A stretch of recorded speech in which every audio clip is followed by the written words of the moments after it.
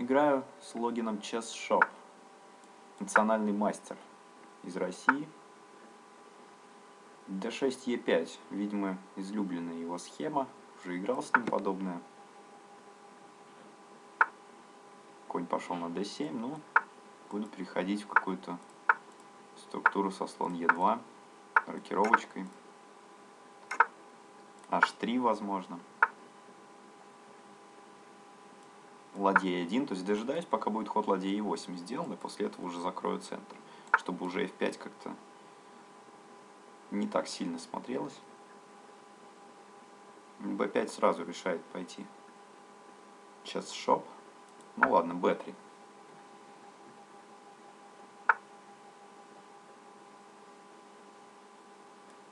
Думаю, что и на b2 можно слона здесь определить. Пока что центр не закрыт. Ну и на c1, наверное. Переведу. То есть дальнейшее развитие где-то на c1, ферзя на c2. Может быть возьму de вообще.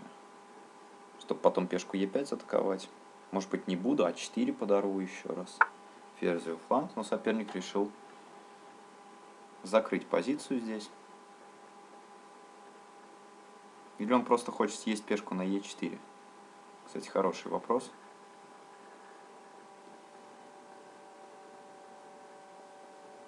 Быть сразу побить? Взял, взял, взял сюда, он сюда. Слона съел. Вот такая вот получается у нас игра с сплошными перебоями. Ну, получается примерно равная в этом варианте позиции. Не знаю, есть ли смысл сейчас брать на e5. Ну ладно, допустим, взял. То есть на de если соперник не будет бить коня, я отойду, наверное, на А4. В принципе, больше его особо некуда девать. На Б1 как-то не хочется. Все-таки ладья должна войти в игру. Ну и на конь Е4 уже могу отъесть в ответ пешку на Е5. Ну, вроде как могу это сделать. Слон Е5 теперь. Ну и переход вот такой вот метель-шпиль. С обоюдными шансами, конечно. Но мне кажется, мне есть чуть поприятнее, особенно если слон сейчас успеет встать на f3, у меня лучше координированные ладьи. У соперника они еще вообще ни разу не ходили, то есть... Ну вот он за счет каких-то темповых ходов пытается закончить развитие. Возможно, есть смысл сыграть ферзь d4, спровоцировать c5 и после этого уйти на e3. Мне кажется, неплохой ход. Тем более слон Е5 уже под боем не будет. Конь С3 хода также нет. Из-за конь С3 БЦ ферзь бьет С3 с лишней пешкой. Есть какие-то укрепляющие ходы F5, чтобы сохранить коня в центре доски. Думаю, вполне возможный ход кандидат. Ну, тогда, наверное, слон H2 отойду от лишних перебоев и подключу после этого уже ладью на d1. Хотя можно и сразу, наверное, пойти. Хотя тоже пешка на g7 висела, я сам не заметил, как напал на нее. Поэтому соперник так долго и раздумывал. Решил сделать ход слон f6 на ферзь e4, слон e5, что мне не очень выгодно. Так что приходится просто размениваться. Можно пойти с ферзь c5, в принципе, с лучшим эншпилем почему бы и нет. С таким конем на c5 думаю, что есть все шансы на удачное завершение этой партии. Очень приятная позиция возникает. Слон выходит на f3, ладья сам на d1 и просто нет плохих фигур. Ему играть довольно-таки тяжело, потому что если он сейчас отходит ферзем, у него пешка на b4 гибнет. Неизвестно, что для него лучше. Перейти в эншпиль и сдать пешку. Решил соперник сдать ее. Все-таки забирают подарок. Ну, если b4 отдал, по идее, где-то он должен вторую скидывать, потому что с таким слоном b7 жить очень тяжело в наше время.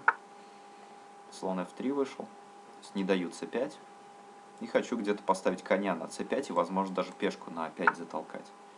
Что соперник не дает мне сделать. И это правильно абсолютно. Также очень соблазнительный переход в эншпиль, я думаю, здесь. Лишняя пешка и позиция намного лучше. Конь идет на c5, ну и отъедаю еще на a5 до кучи. Чуть поменьше времени.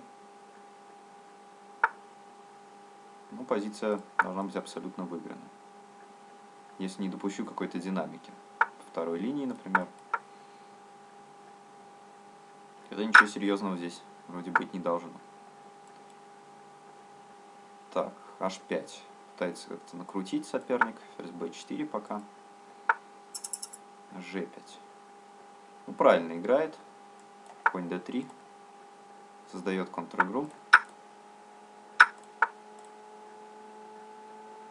А я тем временем хочу разменять ферзей. Вот он мне не дает. То есть и в цитноте уже приходится какие-то защитительные ходы делать.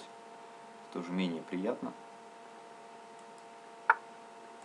Ферзь Е3. Пока что он конем нормально отскочить не может. Ну и вроде здесь разгрузился удачно.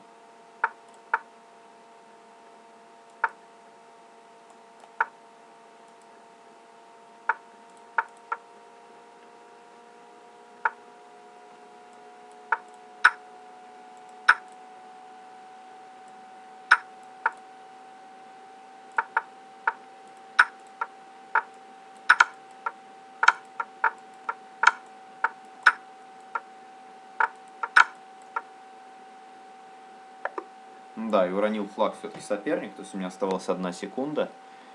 Э, из-за того, что всю партию практически было меньше времени, точно реализовать все-таки не удалось. Были какие-то погрешности.